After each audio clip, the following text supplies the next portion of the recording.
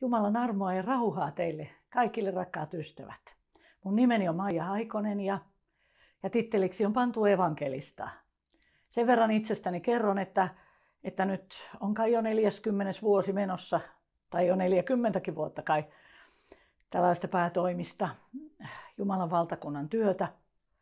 En, ei siinä ole mitään kerskaamista, se on kiitosaihe, että on saanut olla terveenä ja, ja ilo, ilo kertoa Jeesuksesta. Mä olen syntynyt uskovaan kotiin, mutta ei se silti ole itsestäänselvyys, että olisi koko elämänsä ollut uskossa. Nuorena, parikymppisenä siinä elämän tilanteiden edessä, kun piti päättää opiskelu, mihin lähtee opiskelemaan ja näin. Tuli se, sellaisia kriisejä elämään ja ihan synnin tuntoakin, että aloin ymmärtää, että tarvitsen Jeesusta. Siihen asti se oli ollut sellaista teoriaa. Tiesin Jumalan Jeesuksen ja näin, mutta että mitä, niillä, mitä Jeesuksella on tekemistä minun elämäni kanssa. Mutta sitten todella tuli sellaisia asioita, josta ymmärsin, että, että tarvitsen anteeksi antamusta. Ja silloin kesällä 75 sitten tein, niin kuin me, meillä päin on tapana sanoa, niin julkisen ratkaisun eräässä telttakokouksessa siellä kotipaikkakunnallani Karhulassa, Kotkan Karhulassa. Ja sitten tuli kova into siitä paikasta, että pitää lähteä kertomaan tästä asiasta muille, tästä kokemuksesta, tästä ilosta, tästä vapaudesta, että synnit saa anteeksi. Että ei mun tarvitse tätä juttua nyt kantaa lopun elämääni ja vatvoa sitä, vaan se on pois, sitä ei ole. Niin kuin Raamattu sanoo, että minä en sinun syntejäsi muista. Jumala ei edes sano, että minä en muistele, vaan hän sanoo, että minä en muista. Ja siitä lähtien sitten, toki opiskelinkin vähän aikaa äh, Tampereella yliopistossa, mutta koko ajan oli sellainen tunne, että ei tämä se mun juttu ole. Ja sitten sieltä tapahtui niin kuin tällaista downshiftaamista, että, että, tota, että koska kuuluin lapsesta asti pelastusarmeijaan, niin, niin ymmärsin, että, että mä haluan palvella siellä, julistaa evankelimia ja auttaa kärsiviä lähimmäisiäni. Ja, ja niin sitten sain mennä sinne upseerikouluun 79, valmistuin 81 ja sitten, sitten tein sitä työtä ehkä kymmenisen vuotta ja elämän olosuhteiden tähden – henkilökohtaisten perhesuhteiden äidin hoitamisen tähden ja näin, niin Jumala sitten johdatti sieltä vähän väljemmille vesille ja, ja Suomen vapaa kirkko on sitten ollut se taustayhteisö siitä asti. Mutta tarkoitukseni tässäkään hetkessä ei ole kertoa itsestäni, se, se kertomus on pikkusen lyhyt ja eikä se paljon ketään rakenna, mutta pieni esittely. Ja nyt toivon, että ennen kuin tämän pienen sanan kohdan otan esille, niin me rukoilemme yhdessä. Kiitos elävä Jumala, että sinä olet valmistanut pelastuksen raamatun mukaan jo ennen maailman perustamista, ennen kuin sinä loit yhtään mitään. Sinulla oli jo suunnitelma valmiina ihmiskunnan, luomasi ihmisen pelastukseen. Kiitos Herra, että lähetit poikasi Jeesuksen Kristuksen meitä jokaista varten. Kiitos, että tämä ei ole teoriaa, tämä ei ole jotakin utopiaa, ei unelmaa, ei mitään sellaista mystistä, vaan tämä on fakta, joka on sitten toteutettu tämä suunnitelma jo. Ja kiitos Jeesus, että sinä elät. Sinä et jäänyt hautaan. Et ristin kuolemasi jälkeen jäänyt hautaan, vaan sinä elät. Ja raamatun mukaan rukoilet meidän puolestamme nytkin. Ja näiden rukousten tähden sinä voit täydellisesti pelastaa jokaisen, joka isän luo sinun kauttasi tulee. Siunaa tämä raamatun kohta tai nämä raamatun kohdat niin, että ne rakentaisivat meitä, ähm, vahvistaisivat uskoamme tai jopa synnyttäisivät uskoa sellaisen ihmisen sisimmässä, joka ei vielä Jeesus sinua tunne. Aamen. Viime kuukausien aikana olen jälleen kerran lukenut vanhaa testamenttia. Minulla on sellainen tapa, enkä tätäkään kehuskellen puhu, mutta että itse kuriin täytyy ihmisen niin kuin, sopeutua. Että, että on lukenut vanhaa testamenttia aina kaksi lukua ja sitten uutta testamenttia luvun päivässä. Ja sillä tavalla se menee nyt, ja joskus vähän harpetaan enemmänkin, niin se menee noin vuodessa raamattu läpi. Nyt on sitten niin, että uusi testamentti on aikaa sitten luettu, mutta vanhas vielä, vielä vähän aikaa ollaan juuttuneena. Ja siitä jälleen kerran riemastuin, miten paljon pelastuksesta ja, ja Jeesuksesta vanha testamentti jo profetoi. Ja Jumala siis puhuu siellä profeettojen kautta Jeesuksesta. Ja niin hebrealaiskirjeen ensimmäinen luku alkaa siellä Uudesta testamentista. Jumala muinoin ja monesti ja monella tapaa ähm, on puhunut profeettojen kautta, mutta näinä viimeisinä päivinä hän on puhunut pojan eli Jeesuksen kautta. Eli maailman historian viimeiset ajat alkoivat siitä, kun Jeesus tuli ihmiseksi. Siitä on alkanut lopun ajat. Me nyt elämme sitten lopun aikojen lopun aikaa, mutta, mutta näin, se, näin se menee. Niin monta kohtaa, enkä minä niitä nyt esille ota, mutta yksi oli semmoinen vähän uudempi löytö itselleni.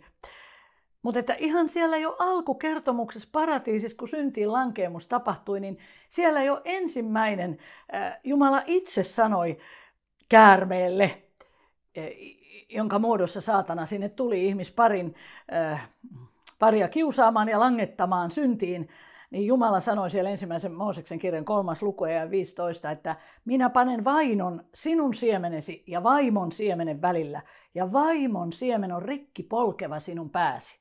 Ja tällä vaimon siemenellä tarkoitetaan Kristusta.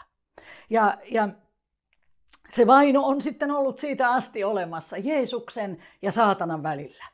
Ja kaiken jumalallisen ja saatanan välillä. Se sota on käynnissä kaiken aikaa. Sitä ei vaan huomata aina, eh, mutta se vaan on olemassa.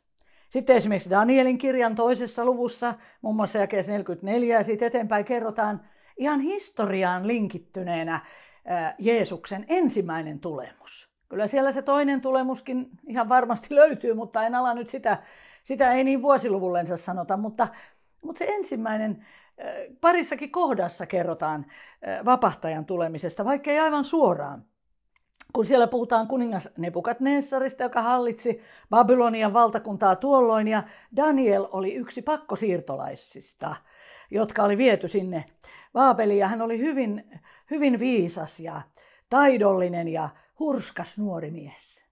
Hän kieltäytyi Baabelin tarjouksista, niiden ruuista ja viineistä. Hän halusi elää Jumalan sanan mukaan ja hän palveli Jumalaa, vaikka tuli sitten vainoakin, niin hän rukoili uskollisesti Jerusalemin päin kääntyneenä kolme, kolme kertaa vuorokaudessa. Mutta tämä asia on se, että kun se kuningas näki unen, se kuningas Nebukadnessar näki unen ja kukaan niistä Babylonian tietäjistä ei, ei tiennyt sitä unta, ei osannut selittää. Ja, ja kuningas itse valtias vaati vielä, että ei hän sano minkälaista unta hän on nähnyt, että niiden tietäjien pitää itse tietää unikin. Ja sitten hän päätti tuohon raakaan tyyliin, että henki pois kaikilta viisailta ja tietäviltä, kun eivät kerran mitään ymmärrä. Ja Daniel sai tietää tästä. Ja silloin hän sanoi kolmelle ystävälleen, Sardakille, Meesakille ja Abedneekolle, että rukoilkaa nyt mun puolestani, että Jumala ilmaisisi mulle tämän unen, että pelastuisimme me ja pelastuisivat ne muutkin Babylonin viisaat. Kun puhutaan pelastuksesta, niin me ei koskaan uskovaisina saa ajatella, että se riittää, että me pelastumme vaan että kaikki ihmiset saisivat kuulla tämän sanoman. Ja niin kuin huomaat, niin Daniel oli huolissaan myös näistä, näistä tietäjistä, jotka olivat ihan eri, eri hengen vallassa. Ja kun nämä ystävät rukoili, niin Jumala näytti Danielille, minkä unen se Nebukadnessar on nähnyt ja mikä on sen selitys. Ja niin Daniel meni sitten tuon kuninkaan luo ja sanoi, että Jumala on, ta- on taivaassa on Jumala, joka paljastaa kaikki salaisuudet, että meidän Jumalamme on sellainen. Ja niin hän kertoi sitten sen kuvapatsaan. En minä sitä yksityiskohtaisesti tässä, mutta se voi lukea sieltä Danielin kirjan toisesta luvusta. Pää oli kultaa ja se edusti tätä kuningasta ja sitten oli vaskea ja hopeaa ja siinä patsaassa kaikki eh, ne ruumiin osat. Ja sen patsaan jalat olivat savea ja rautaa. Ja ne eivät niin kuin liity luonnollisesti koskaan toisiinsa. Ja kysymys on eri valtakunnista. Et siinä on Babylonia ja sitten tuli Medo, Persia ja Kreikka. Ja tämä viimeinen valtakunta edusti Rooman valtakuntaa, joka oli hajanainen. Ja siinä sanotaan, että näiden kuninkaiden päivinä, siis Rooman valtakunnan aikana, lähtee kivilohkare, ei ihmiskäden voimasta, ja se kaataa koko patsaan. Ja se täyttää koko maailman, silloisen maailman. Ja mehän ymmärrämme, että se kivilohkare, kun se ei lähtenyt ihmiskäden voimasta, niin sehän lähti taivaan Jumalalta. Ja se kivilohkare, se kivi on Jeesus, kulmakivi, jonka rakentajat eli juutalaiset hylkäsivät, mutta jonka me pakanat olemme saaneet ottaa vastaan. Ja siellä kuule ilmaisti jo tämä, että tulee sellainen sellainen ihmeellinen kivi todella, joka tuhoaa sen silloisen valtakunnan. No me ajattelin, että no eihän Jeesus sellaista tehnyt. Ei hänellä ollut miekkaa eikä kilpeä, eikä hänellä ollut sotajoukkoja, eikä hän kaatanut mitään Rooman keisareita. Ei tehnytkään. mutta hänen valtakuntansa onkin sisäinen valtakunta. Jumalan valtakunta, joka ei ole syömistä ja juomista, ei mitään ulkoista suorittamista, vaan vanhuskautta, rauhaa ja iloa, jotka pyhä henki antaa. Niin näinhän tapahtui, se profetia toteutui. Evankeliumi alkoi levitä heti Jeesuksen kuolleista nousemisen jälkeen ja pyhän hengen vuodatuksen jälkeen koko silloiseen maailmaan. Ja se kaatoi tämän Rooman, Rooman moraalittoman valtakunnan niin, että kristin uskosta noin 300 jälkeen Kristuksen tehtiin valtion uskonto. Monien mielestä ei ollut hyvä asia, oli hyvä tai huono, mutta se toteutui tämä profetia että Jumalan valtakunnan asia, Jumalan valtakunnan evankeliumi täytti tuolloisen maailman. Sitten hän tuli luopumusta ja kaikkea.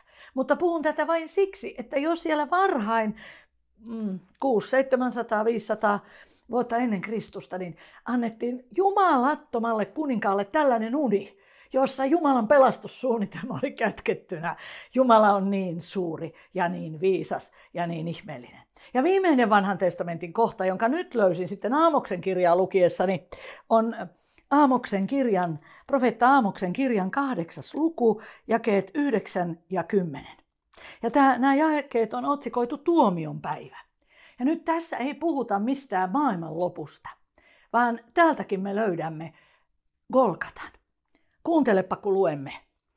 Aamoksen kirjan kahdeksas luku, jakeet 9 ja 10, ja tämä on raamattu kansalle käännös. Jos sulla on joku toinen käännös, niin voi olla tietysti joku sana vähän eri tavalla. Sinä päivänä tapahtuu, sanoo Herra, että minä annan auringon laskea sydänpäivällä ja pimennä maan keskellä kirkasta päivää. Minä muutan teidän juhlanne murheeksi ja kaikki laulunne valitusvirsiksi. Minä vyötän säkkipuvun kaikkien lanteille ja teen kaljuksi jokaisen pään. Minä, ai, nämä kaljuudet ja nämä nyt ei varmasti ihan liity siihen kolkataan, mutta sitten sanotaan, minä aiheutan surun niin kuin surraan ainoaa poikaa. Ja sen loppu on kuin katkeran päivän loppu. Milloin tuli tällainen päivä? Sen kertoo meille Matteuksen, muun muassa Matteuksen evankeliumi sen 27. luku ja 45. Mutta kuudennesta tunnista alkaen, eli puolelta päivin, tuli pimeys koko maan ylle. Sitä kesti yhdeksänteen tuntiin saakka, eli kello 15. Ja täällä oli Aamos profetoinut, että minä annan auringon laskea sydänpäivällä ja pimennä maan keskellä kirkasta päivää. Ja tämä tapahtui silloin, kun Jeesus antoi henkensä koko ihmiskunnan puolesta. Siinä tapahtui paljon asioita ja ne on niin syvällisiä, että ne on ihan oman saarnansa ja raamattutuntinsa aihe. Siinä tuon juutalaisen temppelin esirippu repesi ylhäältä alas kahtia. Ja kun se oli niin tarkasti se temppeli aikanaan ilmestys maja laadittu, että ei sinne kaikkein pyhimpään edes saanut mennä kuin ylimmäinen pappia kerran vuodessa. Ensin omien syntiensä tähden piti uhrata uhrieläimen verta ja sitten hän sai mennä sinne. Se oli suuri sovituspäivä. Se oli kaikki kuvaa, se kaikki ilmestyskirjan, yksi, anteeksi, vanhan testamentin yksityiskohdat kuvaa tätä. Se on niin kuin esikuvaa, se on varjoa. Ja siksi varjoista ei saa tehdä koskaan sitä pääasiaa. Se on esikuva. Jos sä et ymmärrä kaikkea vanhasta testamentista, minäkään ymmärräkä meidän tarvikkaa. Mutta kun me osaamme tuoda sen Kristukseen, niin tässä kun Kristus antoi henkensä, niin se temppelin esirippu ylhäältä alas asti repesi ja tie isän sydämelle on auki. Ei tarvi pappia, ei tarvi ketään välimiestä. Nyt me ihmispoloiset, syntiset ihmiset saamme Jeesuksen nimessä lähestyä isää. Hän on meidän isämme. Me saamme sanoa Abba. Ei uude, vanhassa testamentissa Jumalaa puhutella juurikaan isänä, puhumattakaan isinä, niin kuin se Abba tarkoittaa. Mutta Jumala tuli kertomaan meille, Jumalan poika Jeesus tuli kertomaan, millainen isä on. Ja hän sanoi, että joka on minut nähnyt, niin on nähnyt isän. Tämä on niin valtavan ihana asia. Ja siksi pelastus on äh, mahdollista meille kaikille.